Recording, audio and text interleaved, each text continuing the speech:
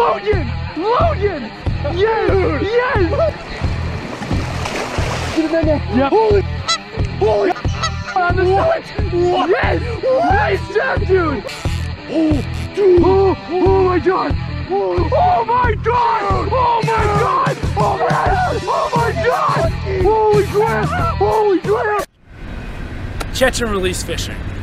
It is the act of catching a fish off of hook and line methods and releasing it back into the wild to grow bigger, to be caught by another angler, and to continue reproducing to help sustain a healthy population.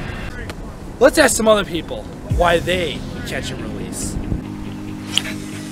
So the reason why I prefer catch and release fishing is because I mean, me along with all sorts of other anglers know how hard it can be to just catch a fish in general or just catch that fish of a lifetime. And whenever someone does catch that fish of a lifetime or me in general, I'll I prefer to release that fish so I know that it's still out there swimming around, healthy, eating, and could be potentially caught by someone else that someday. So someone else might make that same memory that I did with the exact same fish, and that's always been a really cool thought to me. So yeah.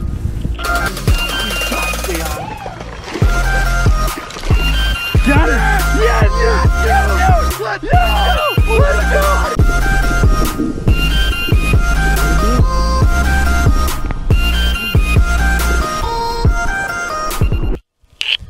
Reason I catch and release is because I don't eat fish. I think it's gross. So I'll just save it for the next guy. Bye, little man. Hasta luego. Get back in the water.